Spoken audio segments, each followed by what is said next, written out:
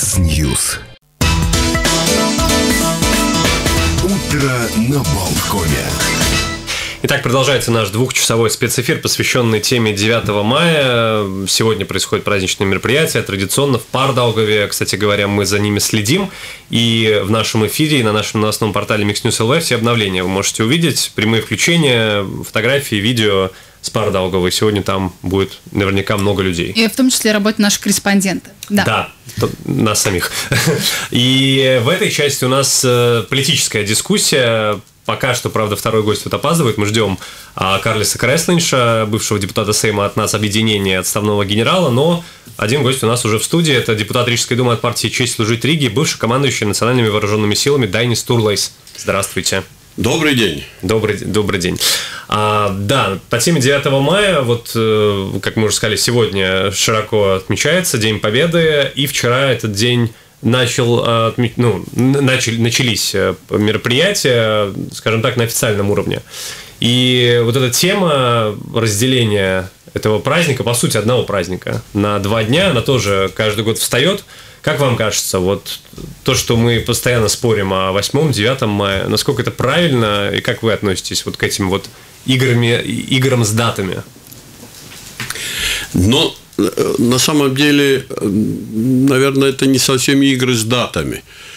А, это следствие а, того, что общество все-таки а, у нас разделено, и мы живем в разных, наверное, информационных, политических пространствах. Часто общество в одном, другая часть в втором – и не все э, мы воспринимаем, что Латвия как страна э, является страной, участницей Евросоюза.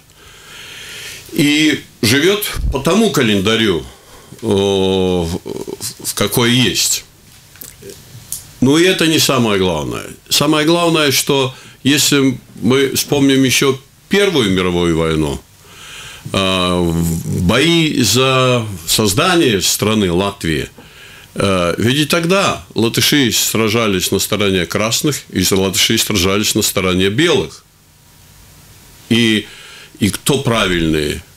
Полвека одни были правильными, э, вторую половину того столетней истории, когда мы отмечали сейчас столетие Первой мировой войны, как бы правда поменялась местами – но правда не может меняться местами. И во Вторую мировую войну э, часть э, сражались на стороне э, Советского Союза, часть сражались на противоположной стороне Германии. И этот день для всех людей, он не может быть одинаковым. И люди воспринимают его по, по-разному.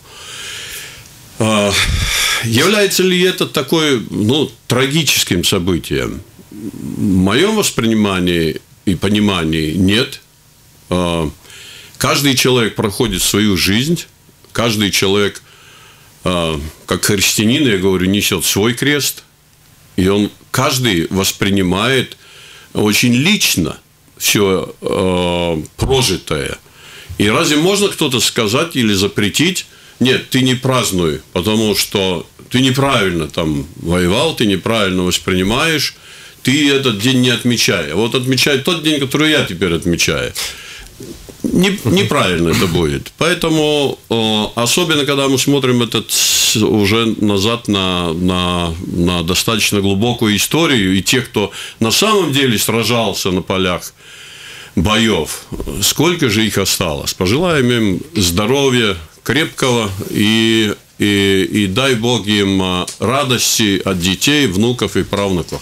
К нам присоединился в студию. Здравствуйте, Карлис Креслинч. Мы вас ждали. Бывший депутат Сейма от нас объединения, основной генерал. Здравствуйте. Дадим отдышаться нашему, Добрый день. нашему гостю военному каравирам надо двигаться быстрее. Но я не ожидал, что такое будет э, Движение. с Астрегумы. Пробки, На да. улицу Ри, это Бривибас, выехать с маленькой улочки Невозможно. полчаса. Это вы еще через Гаговский мост не А потом я бегом уже бежал на трамвай, Да. потом Ну, сюда тоже. спасибо, да, что вы здесь. Да, господин Краснович, мы, э, мы начали вот буквально 5 минут до, до вашего прихода, начали говорить про две даты, 8 и 9 мая, у нас вот принято там на государственном уровне 8 а 9 мая на э, вот уже таком уровне более локальном, в Пардаугове все происходит. Э, Господин Турлай свое мнение высказал э, и отметил, что у нас общество разделено и просто фактически вот одни празднуют хотят 8 9 Я сразу просто тогда обоим задам вопрос, ну и господин Турлус в ответ на то, что вы сказали. Вот не кажется вам, что причины и следствия немножко меняются местами, ведь в руках э, политиков многое от них зависит, потому что вот сегодня Сейм рассматривает, как вы знаете, тему гражд- э, гражданства для детей не граждан. Вот на 9 мая это выпало, и если э, там депутаты проголосуют за, то вот это момент, который раскалывает общество, фактически, я думаю, это бесспорный момент, он будет ликвидирован. Здесь разве это не воля, в том числе тоже Политиков. политиков? Ну, понятно, что это все от общества идет, но нет ли такого м, запроса? Я, по-моему, уже на, в этой студии не раз уже говорил, и мое глубокое убеждение, и я как политик это всегда стараюсь реализовать э, в жизни. Политик и человек, который идет в политику, у него только одна задача – объединить общество, соединять людей. Э, Не разделять, а, а, а любить людей. Любить, уважать и, и делать все, чтобы общество было единым. Э, Предлагать идеи, объединяющие людей. Э, К сожалению, у нас это, ну, как бы не прижилось еще. И много ведь э, политиков, которые базируются как раз на противоположном процессе. Разделяй, дели, ну, бери, создавай свои группы, чтобы они, их хватило, чтобы попасть в Сейм по- попасть к власти, а там уже как, как уже получится. И, и это, конечно, есть проблема. И роль политиков, вот она так и должна проявиться. Ну, э, делай, предлагай свою программу, предлагай свои действия и работу, чтобы всем было лучше. Тогда, тогда и все праздновать будем вместе, и, и, и заодно и цель одна будет. Ну вот, господин Краснович, вы были у власти еще в прошлом созыве. Да. Что вы можете Я сказать по этой теме? э, 99%, если не 100, соглашаюсь с Дайнисом, что говорит. Могу дополнить, когда говорят об угрозах, там разных вот это и так далее. Но это можно фантазировать все, что хотите. Почему-то в советское время мы делали против ядерной войны. Что ж сейчас не делаете? Когда рассуждают всякие там танки и так далее, не танки, там бронемашины закупать, вот тут мы будем где... Что- к чему готовитесь? Вся проблема, наша большая опасность – расколото общество. И вот в этом расколотом обществе, да, могут создаваться группы, которые в конце концов могут дойти до, э, до столкновения и физического столкновения. Поэтому тут надо работать. Если говорят «висапты рошавал сайсадзигба», всеобъемлющее как бы, это не тотальная оборона. Сравнивают с Финляндией или Швейцарией или Швецией. Понятно, эти отдельные страны, это не натовские страны. Им надо, да, думать, если что-то случится, как мы будем оборонять. Но мы же в стране, На- страна НАТО. У нас есть коллективная, умная оборона. Поэтому тут какие-то какие путаницы, а вот глав, главное ударение надо, действительно надо сплачивать общество. Но Надо вы сейчас, получается, как бросаете камень в сторону правительства, вот и нынешнего, да, Да, да и почему я прошлого. бросаю? Я всегда был в та- такое мнение, я никогда не менял свое мнение. То, что надо Ну, Потому что мы наблюдаем общество. совершенно как будто бы противоположное. Мы закупаем танки активно. Нет, вот это, это насчет этого я готов спорить. Вот это то, что я считаю, что не очень нерационально все это вот всеобъемлющее оборонное готовят. Тут надо, чтобы контролировать безопасность в стране, контролировать, помогать полиции, как вот было перед войной были айсарги, ну сейчас земесарцы могло быть, что их главная задача была, чтобы контролировать ситуацию здесь, чтобы не было какие-то, ну, э, хранилища оружия находят, боеприпасов. Внутренняя Ну, безопасность, Вот это, ну, называемая. ну, внутреннее, чтобы это тут был порядок. И чем мы не учимся, когда появляется, вот учили, смотрели, как э, на Украине, в Украине зеленые человечки и так далее. Ну, понятно, э, там можно по-разному, откуда все это появилось и как это все делалось. Но мы должны смотреть, чтобы в Латвии такого не было. Потому что Такое не появится ни в Финляндии, ни в Швейцарии, где большое доверие правительству.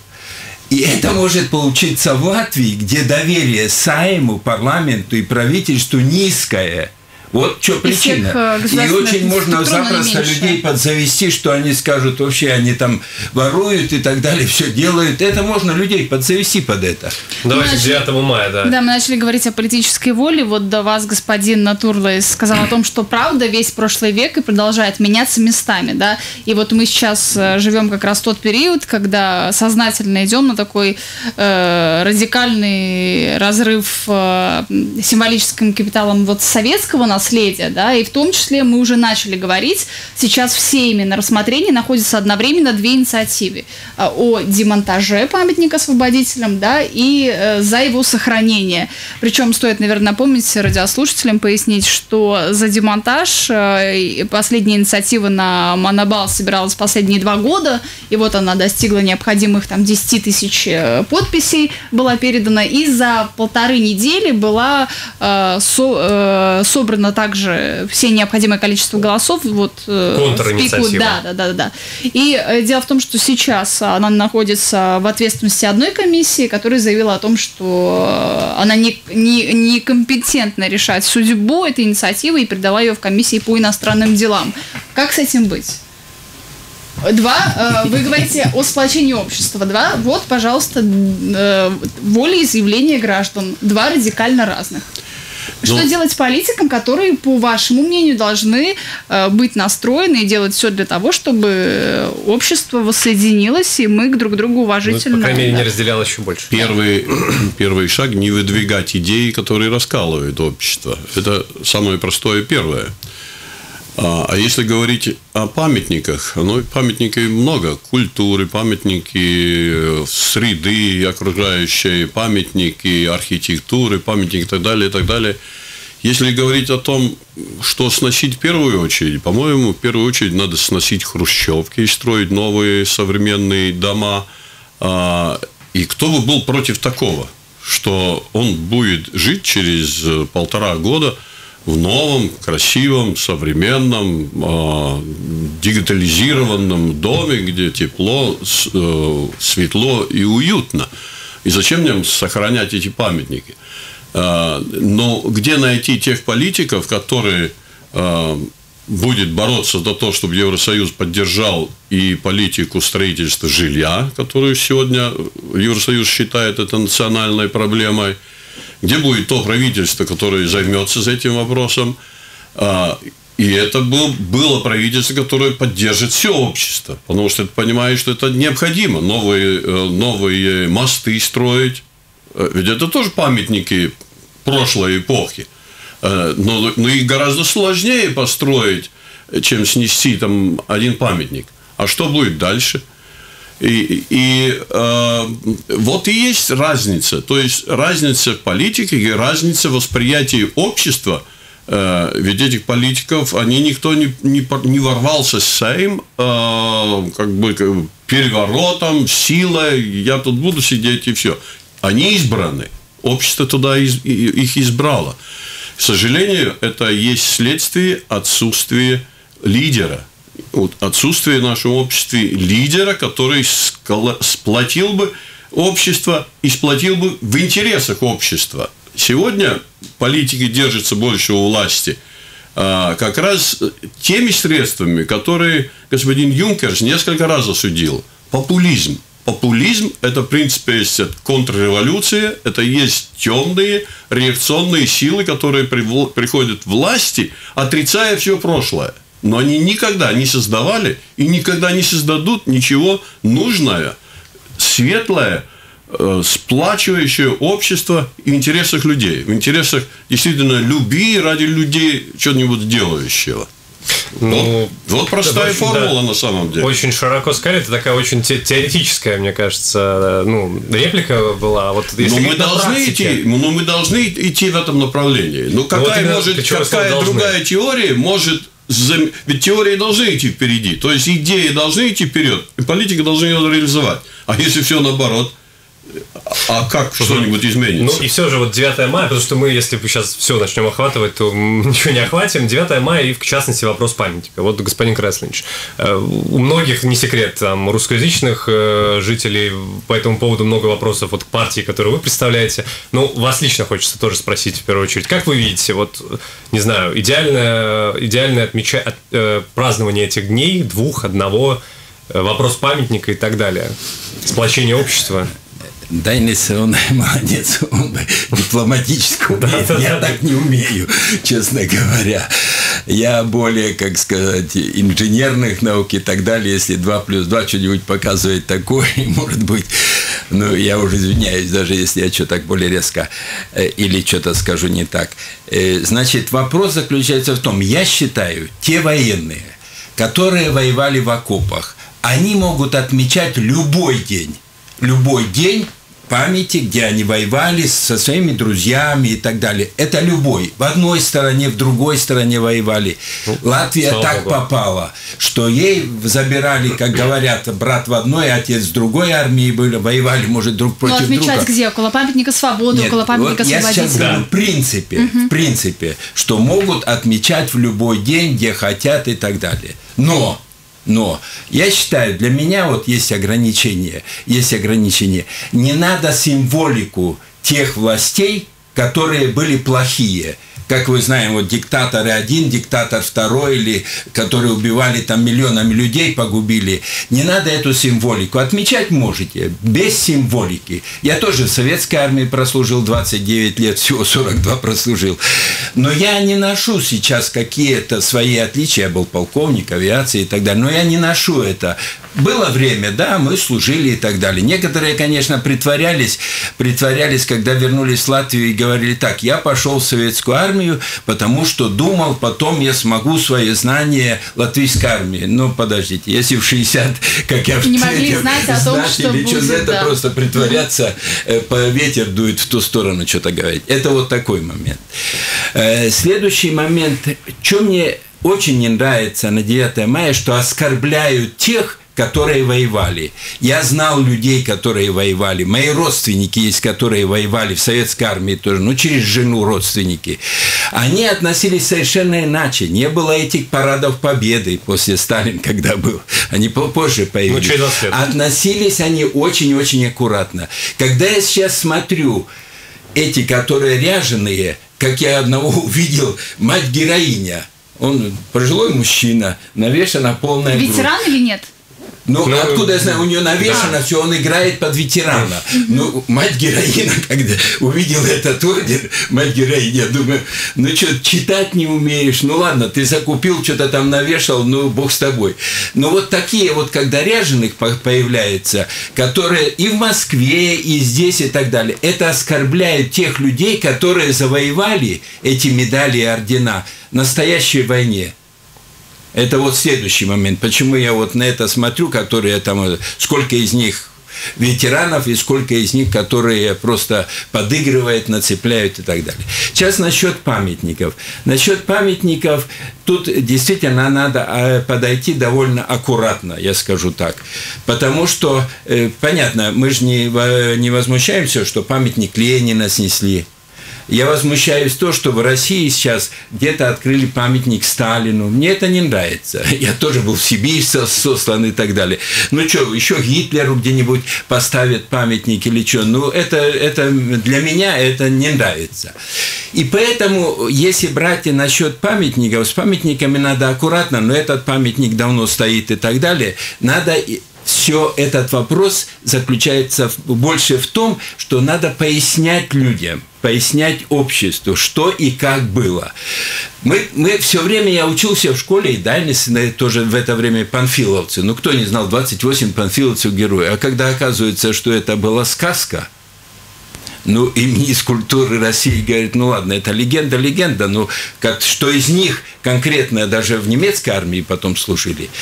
Ну, есть многие истории, значит, поэтому, когда рассказывать о том памятнике, что, в честь чего, что там было, там вешали кого и так далее, как это было, надо разъяснять обществу, надо находить, постараться найти общий этот язык и общее понятие про, ну, и про историю тоже.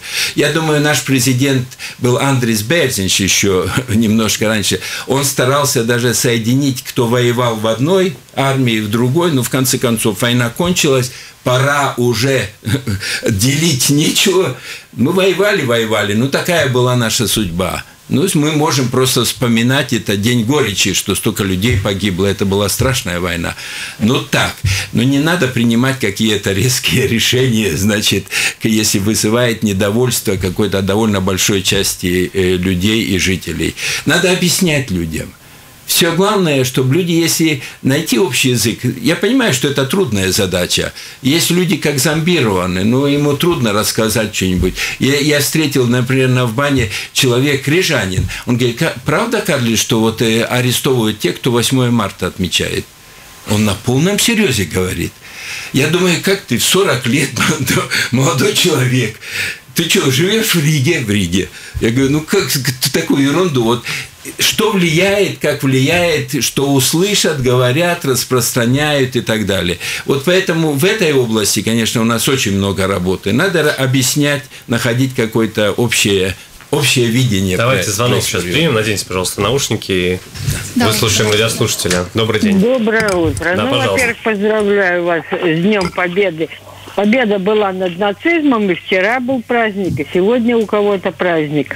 Для всех это победа над нацизмом. Но мне непонятна логика тех, кто собирается памятник Победы переименовывать в памятник оккупации и музей там сделать. Но ведь в это время, во время войны воевали, там были латышские дивизии, корпуса, потом здесь местные партизаны латыши были.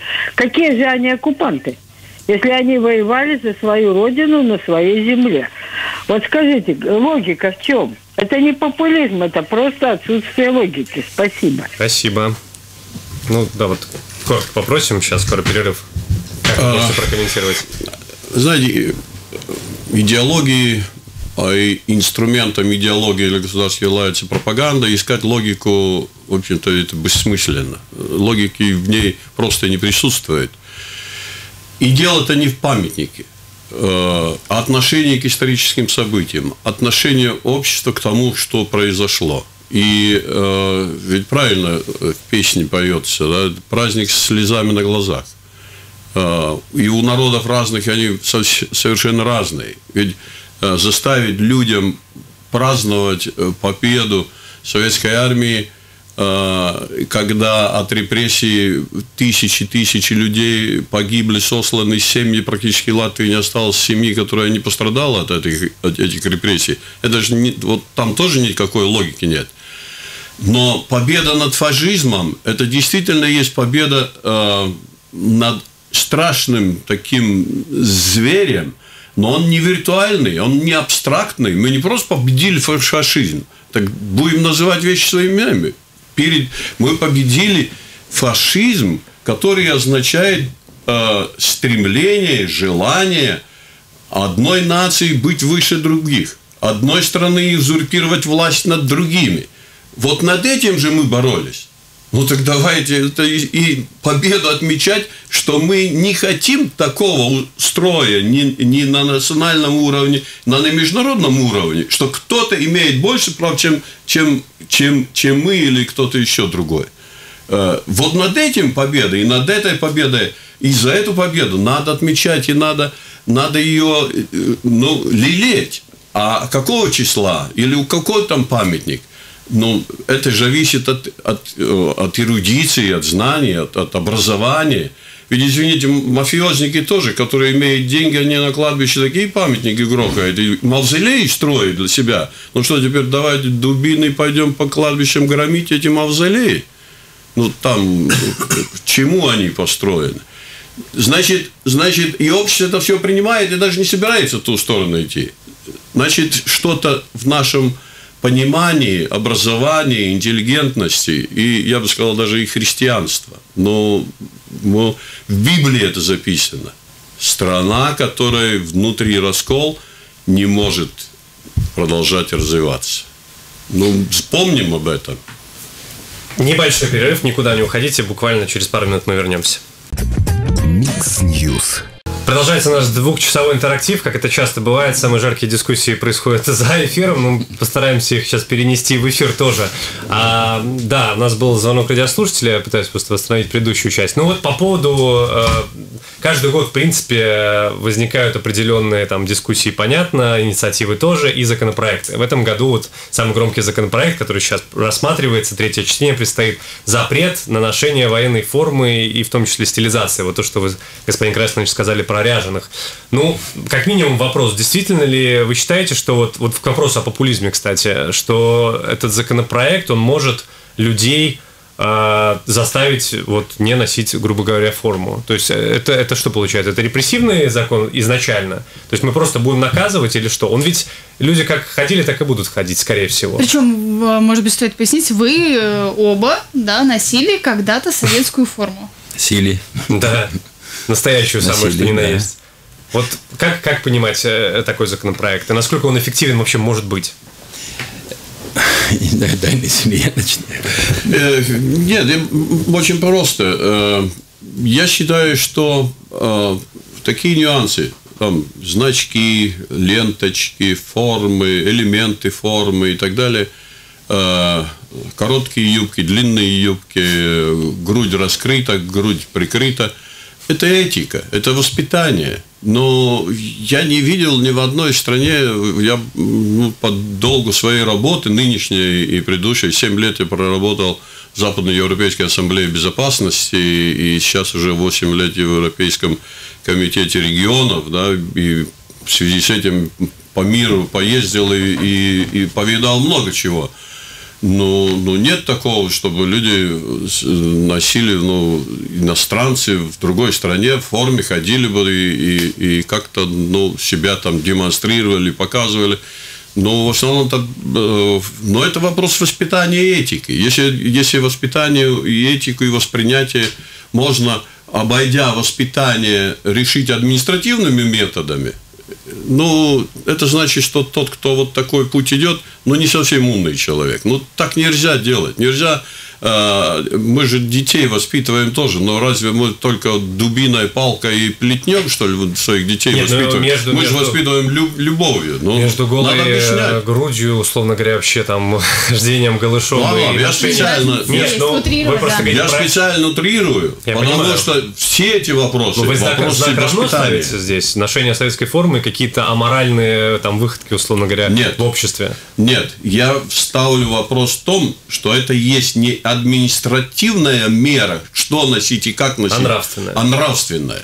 Да, и надо думать, как воспитывать людей, как воспитывать новое поколение, в том числе и как преподавать историю. Может что быть, важно, господин что Красный не знает, то. как это делать? Но господин Как Красный сказал о том, что э, странно выглядит, когда ветеран или якобы ветеран надевает, э, Ну, носит медаль, да, там роди- э, мать героиня, да, но а если он, э, допустим, действительно воевал, мы не говорим причем о молодежи, которые тоже почему-то носит иногда там советскую форму, да, это действительно, как мне кажется, на мой взгляд, очень странно. Но если мы говорим о ветеранах, которые приходят э, э, в советской форме и с теми же медалями, которые они действительно завоевали. Хорошо. Понимаете, тут э, я понимаю, что просто дали приказ и давайте так делать. Это не очень хорошо. Но обществу надо объяснять, потому что кому понравилось бы сейчас, одел бы какую-то фашистскую форму и шел. Я воевал, ну, я так вот был вынужден и так далее. Сейчас одену какие-то кресты, там э, в то время полученные, пойду по улице. Мне это не вызовет никакого удовлетворения и так далее. Я думаю, и полиция заберет и не разрешит. Надо понимать и ту часть общества. Я говорю, я тоже, ну, Латвию разно говорят. Ну, взяли, забрали под Советский Союз еще перед, ну, так называемой сороковом перед войной, то э, уже началась Вторая мировая война, но перед войной Отечественной, как называют в России. Значит, чувствовали очень многие люди, что они оккупированы. Многих расстреляли, сослали и так далее. Поэтому внутри у народа было, что это оккупанты – и когда пришли немцы, некоторые действительно и добровольно, ну, конечно, забирали обязательно в армии и так далее. Они как бы воевали, ну, вот эти были плохие. Но потом вернул, э, вернулись в советская армия, туда забрали тоже. Ну, в принципе, людей разделили, хочешь, не хочешь. Но когда в 1945 году, вот 8 мая в Европе отмечают конец Второй мировой войны в Европе. Ну, мы Европа. Ну, мы отмечаем этот день, что конец Второй мировой войны в Европе. Она продолжалась на Дальнем Востоке, но в Европе вот закончилась. Подписали акт о капитуляции 8 мая. Окей. Ну, Принято, что, скажем, в России отмечают 9 мая. Ну, потому что Сталин подписал уточненный ну, акт хорошо. 9 Ну, числа, подписал да. Сталин. Ну, а наше-то какое туда? Мы сейчас Я не Россия. Но вы же, я- да, но вы же знаете реалии этой страны. Нет, безусловно, понятно. безусловно, история, Понятно. она переигрывается. Да. Смена поколений произойдет, и э, мы тоже можем об этом затронуть, насколько широко будет в публичном пространстве Ну также да. стоять этот вопрос. Но, э, учитывая тех людей, которые э, родились в Советском Союзе, и все-таки на этой территории здесь раньше было советское Ну государство, одно из, да, это, знаете, это с молоком матери. Ну, это девятое число, это с молоком матери. И сейчас С Хорошо. молоком матери люди воспитывались в стране Латвии, которой не было в Советском Да, Союзе. в Советском Союзе. Это тоже надо понимать. Я, я родился тоже когда... Это тоже молоко когда мы матери. были. Это Нет, тоже да. мо- молоко матери. и Ну, вы же понимаете, о чем я говорю, когда Нет, я хорошо, говорю я понимаю Конечно. это дело. Ну вот, Дайнис, мы в перерыве немножко говорили. Когда говорят праздновать или что отмечаем э, э, победа в Отечественной войне. Окей, каждая страна может какие праздники хочет отмечать. Что в России отмечают 9 мая, считают так, окей, мы не указ. Но в Латвии-то что? У нас есть, мы в Европейском Союзе, у нас есть 8 марта, окей, когда мы отмечаем конец Второй мировой войны в Европе. Ну, хватит, хватит. Потому что многие, когда уже отмечают здесь, это как бы отчасти, вот говорили, логика, не логика, это часть для многих людей, это аннексия, оккупация, и как сказать, ну, считаем, слово принято, что в оккупации это было заново оккупированы. Латвия получалась несколько раз оккупирована. Была не, независима, пришли советские войска, пришли немецкие оккупировали, И снова потом опять советские. То есть это Балтийские страны, ну, такая судьба была. Поэтому для многих это тоже с кровью, с кровью матери, что воспитались, рассказывали. Есть еще некоторые живые, которые перед войной жили и так далее. Они тоже, но мы были оккупированы. Потом мы отделились, мы стали свободны. Вот мы вступили в Европейский Союз, НАТО. А почему наши вот этих людей тоже не хотят понять, что это воспринимают, ну, как отмечают оккупацию. О чем мы должны отмечать оккупацию? Я не говорю, что это можно просто взять законом и так далее. Я говорю, что нужно э, плашься занеслыть, масс-медиа и так далее. Надо политикам стараться разъяснять. Надо находить общий язык и эти вопросы. Ну вот ключевое Так, слово надо. Нет, а надо, у нас я все, согласен. получается, упирается в запретить, э, Нет, наказать ну, и я, так я далее. не сторонник того, чтобы, значит, просто таким указом. Это сталинские времена было, да, ты там не молчи, это делай, то можно, то нельзя. Здесь мы находимся в обществе, и в Европе и так далее. Здесь надо больше стараться разъяснять, чтобы люди поняли и находить общий язык. Я, как сказал, Андрис Берзинч, ну, мне очень понравилось в время, когда он был министр, не министр, президент Латвии, Андрис Берзинч, тот Андрис Берзинч, он пытался, значит, 8 9 кто участвовал в одной в армии, в другой, как бы находить этот общий язык. Я думаю, это было правильное направление, и очень хорошо, что такого уровня политики, ну, хоть пытаются делать. Давайте звонки принимать. Еще у нас очень много звонков. Э, Доброе, доброе утро. Доброе утро. Пожалуйста.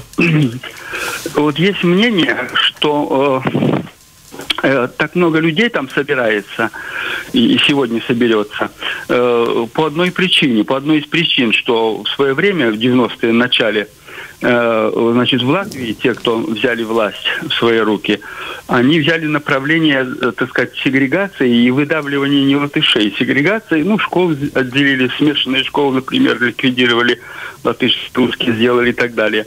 Вот мнение ваших гостей.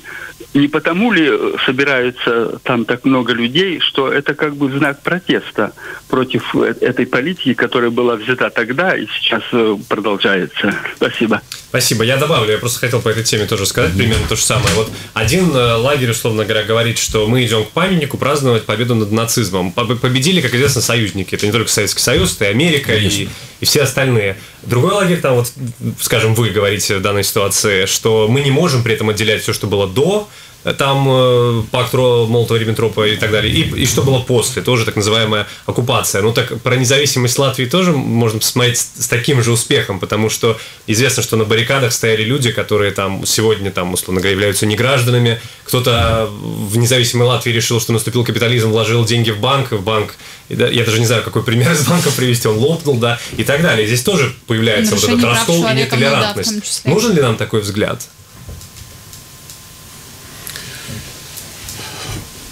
Я думаю, что, э, во-первых, э, есть официальные государственные праздники, занесены в календаре, это принято законом, их отмечают. Есть группа людей, которые собираются, отмечают им принадлежащие праздники, которые они, душа их празднует, их история, их опыт жизни и так далее.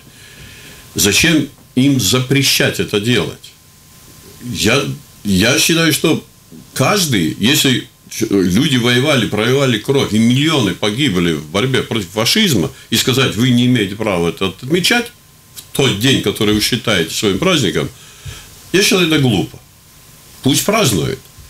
Но не использовать это людей, к сожалению, со стороны политиков, и на том строить уже себя, позиционировать, себя показывать, молодежь привлекать. И, и уже получается не праздник или день памяти, или день э, отметить победу над фашизмом, а устраивается уже мероприятие абсолютно точно идеологического характера, и, и тем самым практически искажает историю. То есть у вас вопросы к организаторам э, вот, мероприятий, конечно, в данном числе Пардауга? Конечно, и это не только Пардауга. Март 16 э, это что же, не государственный праздник? Не ну, нужно, он, не нужно торжество иметь в виду, не нужно ну, Он отмечается. А если мы посмотрим о публичных мероприятиях, о, о которых у нас написан закон, организатор отвечает за этот праздник. Господин Грашевич. Тогда я немножко добавлю э, тоже то, что Дайнис знает. Вот 16 марта, хороший пример. Э, командира национальных вооруженных сил, когда он участвовал, его уволили 16 марта. Это в конце 90-х? Юрий Сдалбич в свое время. Э, сколько министров уволили с национальной да, дней, которые, которые участвовали. Да. То есть, в принципе, там никаких тоже ни флагов, никаких этих самых фашистских там символов ни, никто не несет. Ну, кто-то может провоцировать что-то там. Э, ну, в принципе, ну, отмечает. Ну, там по-разному как. То есть, видите, государство не только вот против 9 или так, наоборот, больше вот реально люди страдали то, что они на 16 марта отмечали. Мое мнение, как я сказал предыдущие, те каравири, военнослужащие, которые воевали в окопах не против мирных жителей, а в окопах воевали, они имеют право отмечать, когда хотят. Но не надо превращать только это с какими-то символами и так далее. Этот первый момент. Но 16 марта там особо, э, ну, это, э, во-первых, не так много, потом уезжают в Лестен и так далее, там довольно количество людей. А самая большая это беда, что часто под вот эти праздники реально политики разыгрывает, ну вот сейчас вопрос задал-ка, вот как будто вот в школах э, русских обижают и так далее, вот поэтому это в виде протеста. И стараются так организовать. Народу приходит много, этих людей организовать, дать какой-то лозунг, вот вы собрались, ладно, там девятое уже как бы осталось на втором плане, а вы собрались, потому что вас обижают и так далее. Вот это не надо использовать. Поэтому надо все больше и больше объяснять людям и находить какое-то общее общее решение. В Сейме э, дискуссия произошла вот накануне второго чтения, когда обсуждался как раз-таки запрет на ношение формы военнослужащих как СССР, да, так и э, гитлеровской Германии. И один из депутатов согласия сказал, что данный законопроект, ну, грубо говоря, приравнивает э, советскую форму к нацистскому обмундированию. Ну и режимы. Да, да, да. Соответственно. И э, депутаты вот нацобъединения сказали, что это нарушение этики, и в том числе э, завели дело, которое, правда, еще не было рассмотрено, потому что депутаты потом не явились Мгм. на комиссию, но э, в данном случае не считаете... Именно, да. Да, но в данном случае э, не считаете ли вы, что так оно и есть? Согласны ли вы с депутатом вот, Пименовым в данном случае, который сказал? И в чем, в чем нарушение? Видите, вопрос, э, что касается вот режимы, сталинский режим и гитлеровский режим, это один и второй. В Европейском Союзе и в парламенте в том числе эти дискуссии идут как бы э, поднять этот вопрос, что это были режимы, Ну, смежно, которые уничтожали людей, группы людей и так далее. Если гитлеровский больше по национальности, ну не только по национальности, но и евреи, понятно, там цыгане и так далее, то сталинский режим своих же людей уничтожал, и, и количественно, если брать, эти были миллионы, миллионы в лагерях, которые были уничтожены. Что это приравнивать? Конечно, это и в Европейском Союзе тоже говорят, этот ра- разговор идет. Конечно, этот вопрос довольно чувствительный уже в таком мировом плане, потому что все-таки была коалиция против Гитлера и против фашизма, и сейчас начинать какие там внутриразборки, Пересмотры. пересмотры, ну, это с, с точки зрения этики, дипломатии, наверное, и так далее. Я небольшой специалист, но мне кажется, это не совсем, не совсем хорошо потом как-то объяснять людям. Но, э, с другой стороны, посмотрите, вот сейчас мероприятия будут в Москве. Сколько руководителей, даже очень близких России, Казахстан или что, приедут на это Ну, это уже Уже заявили, да, геополитический что нет. э, Видите? вопрос. Вот видите, как Мы говорим о, Да, о да, Москве нет, и я, Кремле. я Ну понимаю, но я к да. А тому... победа, она же не принадлежит м- вот в данном случае Понятно. путинской России. Это- вот он-то и весь вопрос. И поэтому вот эти вопросы, так же, как и, и где-то что-то праздновать, и как праздновать, и так далее, кто признает, я не говорю, что Европейский Союз это, ну ладно, как бы мы а, в стороне находимся, но даже внутри, которое было СНГ, эти государства, которые вместе. И то там нельзя найти такое общее на этот взгляд. Поэтому, э, скажем, что касается формы и так далее, посмотрите уже в скольких странах бывшего Советского Союза, в принципе, против этого. Ну, Украина сейчас последнее, что происходит, что там запрещают намного строже. Поэтому здесь это, этот закон, конечно, надо обсуждать, обсуждают, пускай обсуждают. Э, Но, в принципе, как бы рекламировать, рекламировать униформу, люди от которой, ну, представители, вот от этих представителей, это как бы ассоциируется, они пострадали, ну, наверное, не очень хорошо. Давайте напоследок звонок еще успеем принять. Наденьте наушники, пожалуйста. Извиняюсь, когда... Да, да. Слушаем, слушаем вас. Э, Здравствуйте. Да, пожалуйста. С праздником 9 мая еще раз.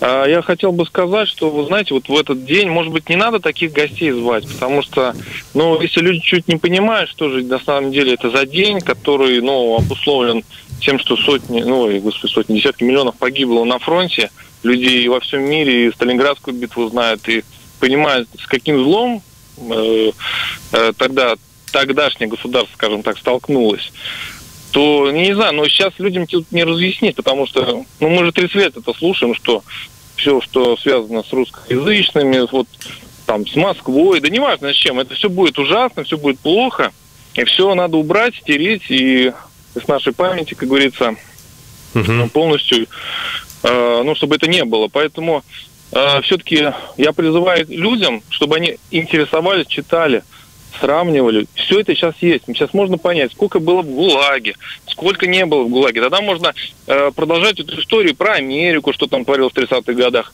и в Британии, что там творилось в колониях. Но, знаете, это, это тот, э, ну, возможно, это будущий вопрос, чтобы когда-то вот эти все цифры, что действительно произошло, сколько где, сколько пострадало, было когда-то сказано, но в целом нельзя занижать эту победу вот ничем этим. Это не да, мы вас поняли. Прошу прощения, у нас времени совсем не остается. Я только скажу, что я думаю, что все все понимают, просто мы пригласили именно политиков, и дискуссии этим мы устраиваем для того, чтобы вы 30 лет, и мы с вами 30 лет это слышали, и, и это в какую-то сторону все-таки двигалось светлую, а не темную. Но у нас совсем не остается времени. Вот.